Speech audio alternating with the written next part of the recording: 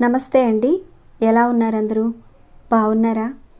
మీ అందరికీ అమ్మవారి ఆశీస్సులు ఎల్లప్పుడూ ఉండాలని కోరుకుంటూ దీపావళి రోజున రాత్రి చేసుకునే సాత్వికమైన ఒక పరిహారాన్ని అయితే ఈరోజు తెలియచేయబోతున్నాను ఉప్పుతో ఈ చిన్న పరిహారాన్ని మీరు చేసుకోవడం వల్ల సంవత్సరం మొత్తం కూడా డబ్బుకు సంబంధించిన ఇబ్బందులు ఇలాంటివి ఏమీ లేకుండా ఏదో ఒక మార్గం ద్వారా మీకు డబ్బు వస్తూనే ఉంటుంది.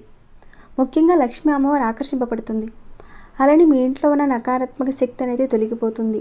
కుటుంబ సభ్యుల మధ్య ఉన్న సమస్యలు కానీ గొడవలు కానీ ఇలాంటివి ఉంటే తగ్గిపోయి మీ మధ్యన ప్రేమానురాగాలు పెరుగుతాయి.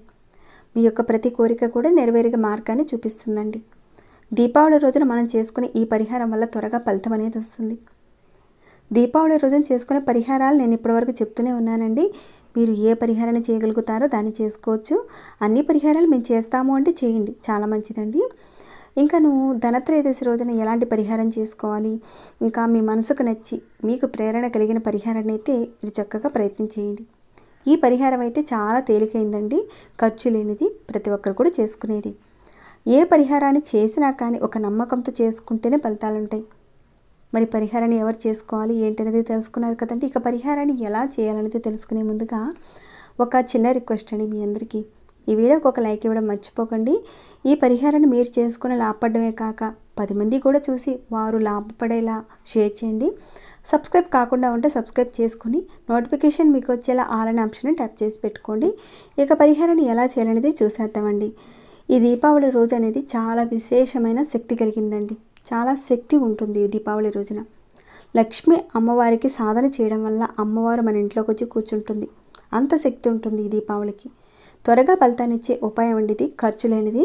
ఇక దీన్ని ఆడవారైనా మగవారైనా చేసుకోవచ్చు. కానీ మీరు నెలసరిలో ఉన్నప్పుడు మాత్రం చేయకండి. అలానే మీకు మైలు ఉన్నప్పుడు కూడా చేయకండి. కుటుంబ సభ్యులు ఎవరో ఒకరు మరణించారు. పెద్ద కర్మ కాలేదు. అలాంటప్పుడు కూడా చేయకండి. అలానే తల్లి మరణించి మూడు నెలలు అయ్యిందండి. మరి మేము చేసుకోవచ్చంటే మీరు కూడా చేయకూడదండి. మూడు నెలలు అయిపోయిన తర్వాత చేసుకోవచ్చు. మూడు నెలల లోపు మాత్రం చేయకూడదు. ఇక తండ్రి మరణించి ఆరు నెలలు దాటిన తర్వాత మీరు చేసుకోవచ్చు.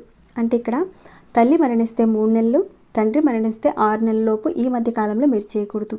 దాటిన తర్వాత చేసుకోవచ్చు. అర్థమైందనుకుంటున్నాను వీడియోనైతే మీరు స్కిప్ చేయకుండా చూస్తూ ఉండండి.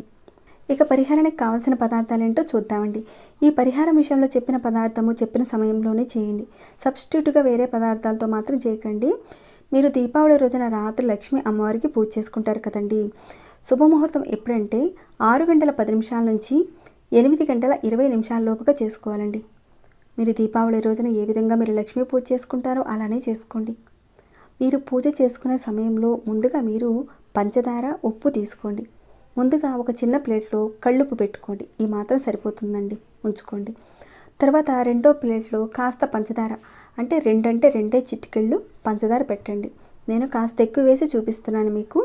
మీరు అనుకోండి రెండంటే రెండే చిటికెళ్ళు పెట్టండి ప్లేట్లో. ఎక్కువ పెట్టనవసరం లేదండి.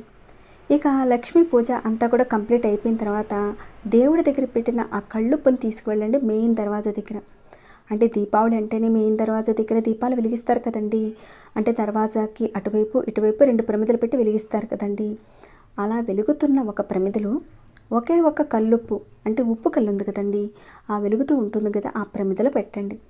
అలానే మరొకటి వెలుగుతున్న దీపారాధన ప్రమిద ఉంది కదండి దాంట్లో కూడా ఒక కల్లుప్పు వేయండి. వెలుగుతున్న ఆ దీపం లోపల వేయాలి. ఇక పంచదార ఉంది కదండి దాన్ని మీరు ఏం చేస్తారంటే వెలుగుతున్న ఈ దీపాలు ఎదురుగా కాస్త కాస్త అంటే మీరు ఇక్కడ రెండు చిటికలు తీసుకున్నారు కదండి ఒక చిటికెడు వచ్చి ఒక ప్రమిద ముందు పెట్టండి. మరొక చిటికెడు ఈ ప్రమిద ముందు పెట్టాలన్నమాట. ఇలా పెట్టడానికి గల కారణం ఏంటంటే శుభానికి సూచికండి. అంటే అమ్మవారిని ఇంట్లోకి ఆహ్వానించడం అని అర్థం ఇక్కడ.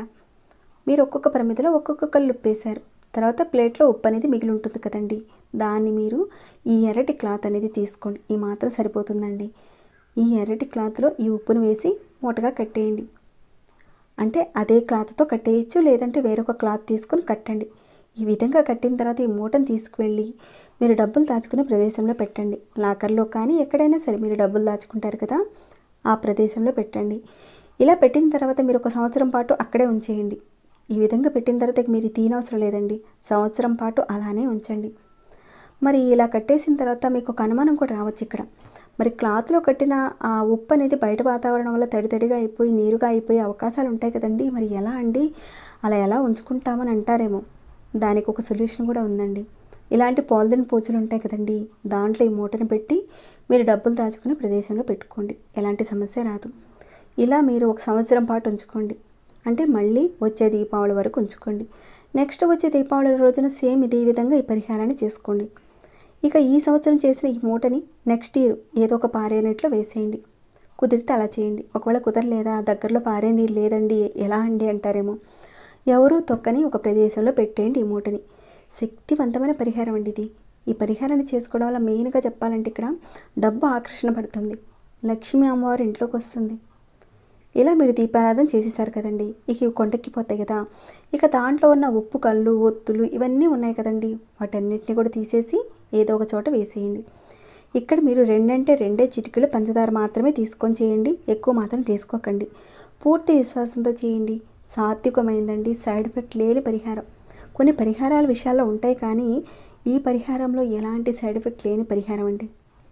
సాయంత్రం ఆరు గంటల పది నిమిషాల నుంచి రాత్రి ఎనిమిది గంటల ఇరవై నిమిషాల లోపుగా చేయాలి. ముందు చేయకండి వెనక చేయకండి. ఎలాంటి ఫలితాలు ఉండవు. చెప్పిన టైంలోనే చేసుకోండి. ఎవరైతే ఈ వీడియోని చూస్తున్నారో మీ యొక్క అనుభవాన్ని కూడా నాతో షేర్ చేసుకోండి. తాంత్రిక పరిహారాల్లో సమయము పదార్థము ఇవన్నీ కూడా చాలా ఇంపార్టెంట్ అండి.